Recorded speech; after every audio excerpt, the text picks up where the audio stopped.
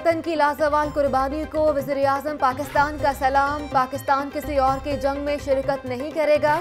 ہماری خارجہ پالیسی قوم کی بہتری کے لیے ہوگی۔ ملک قرضوں میں ڈوبا ہوا ہے، ہمیں کمزور طبقے کو حقوق دینا ہوں گے پاک فوج کی طرح دیگر اداروں میں بھی میرٹ کا نظام لائیں گے۔ وزیراعظم عمران خان کا جی ایچ کیو میں تقریب سے خطاب۔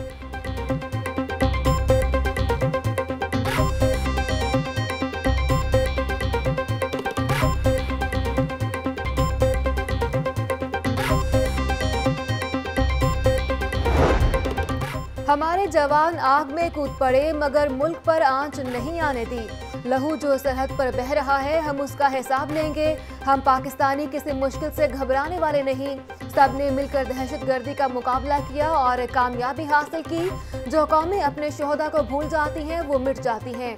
ہم متحد رہیں گے تو اپنے ارادوں میں کامیاب ہوں گے۔ Army chief general Qamar Javed Bajwa کو یوم دفاع پاکستان کی مرکزی تقریب سے خطاب۔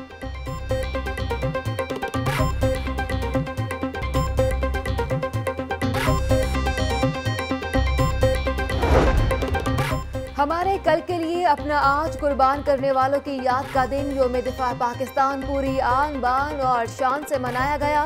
شہر بھر میں جگہ جگہ تقاریب کا انعقاد 6 ستمبر کی یاد میں فضا غازیوں اور شہدہ کی یادوں سے معطر ہو گئی۔ نظار اقبال پر پروکار تقریب میں پاک فوج کے چاکو چوبند دستے کی سلامی garrison commander major general Muhammad Amir کی فاتح خانی مہمانوں کی کتاب میں تاثرات درج کیے۔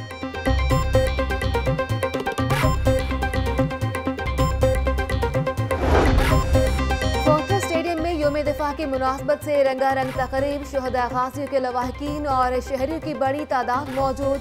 وزیر اعلیٰ پنجاب عثمان بزدار، گورنر چودری سرور اور corps commander lieutenant general Amir Riaz کی بھی شرکت۔ جوش اور ولولہ انگیز ملی نخمو پر دل کرے پرفارمنسز نے حاضرین کے دل مولیے ماہر پیراگلائیڈرز نے فضا میں پرچم لہرایا۔ جوانوں کی شاندار انداز میں فرضی مشقیں۔ گورنر پنجاب بولے، دنیا کی مشکل ترین جنگ جیتی۔ شہدہ کی قربانی کو نہیں بھولیں گے۔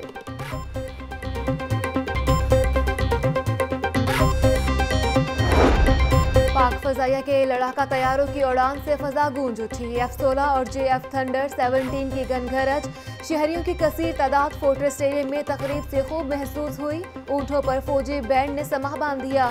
جوانوں نے گھوڑوں پر نظام بازی کا مظاہرہ کیا۔ کتے بھی دلچسپ کرتب دکھانے میں پیچھے نہ رہے۔ باکمال پرفارمنس سے خوب دان سمیٹی۔ دیکھنے والے میدان سے نظریں نہ ہٹا پائے۔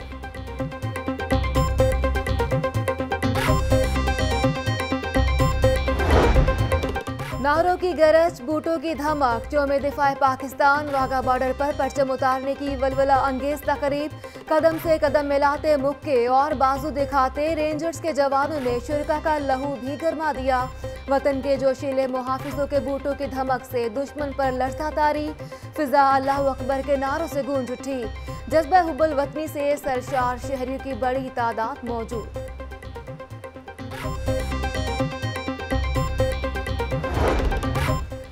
یوم دفاع پاکستان پر پنجاب گروپ آف کالجز کا احسن اقدام، rescue double one, double two کے شہدا کے بچوں کے لیے مفت تعلیم کا اعلان، ریسکیو ہیڈ کوارٹر میں مفاہمتی یاداشت پر دستخط کرنے کی تقریب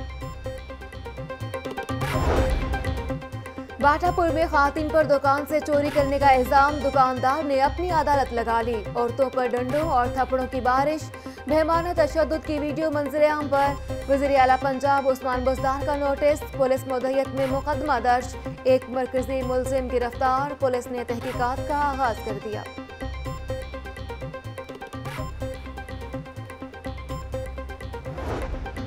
ہر کام میرٹ پر ہوگا سفارش کرنے والوں سے پیش کی معاصرت وزیر صحت ڈاکٹر یاسمین راشد نے واضح کر دیا کہتی ہیں نوے روز میں ہسپتالوں میں واضح تبدیلی لائیں گے۔ ہیلتھ کارڈ کا جلد از جلد اجرا کیا جائے گا۔ فلیٹیز ہوٹل میں پاکستان میڈیکل ایسوسی ایشن کی تقریب سے خطاب۔ ینگ ڈاکٹرز کے وقت سے بھی ملاقات۔ اور جوہر ٹاؤن ایمپوریم مال میں فیشن میلے کا آخری روز اور اسی ملبوسات میں حسین و جمیل مارلز کی ریم پر واک۔ حسیناؤں کی دلکش ادائیں دیکھنے والے دنگ رہ گئے۔